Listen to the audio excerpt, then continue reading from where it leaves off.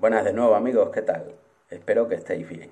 Seguimos adelante ¿eh? con un vídeos interesantes, son informativos realmente, ¿no? En el cual podemos ver, pues, en cada vídeo un código de averías y ya, para que no nos extendamos excesivamente con todos los códigos de averías de un, modelo de caldera.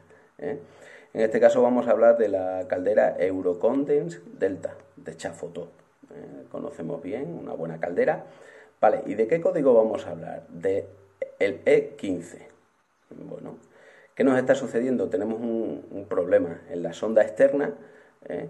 pues está abierta. Entonces, lo más probable es que tengamos que sustituirla. Recordamos, código de error E15, sonda externa eh, abierta. Vale, pues espero que os sirva de ayuda este código. Chao.